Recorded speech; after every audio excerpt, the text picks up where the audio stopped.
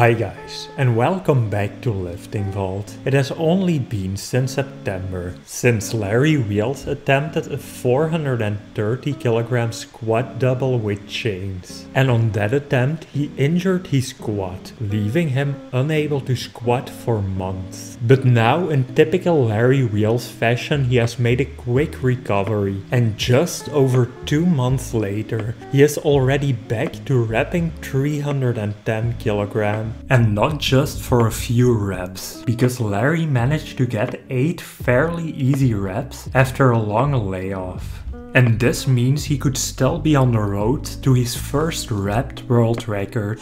That was it for today's video guys, thanks for watching, I hope you enjoyed it. And if you did, don't forget to like and subscribe and check out one of the suggested videos displayed on the screen right now.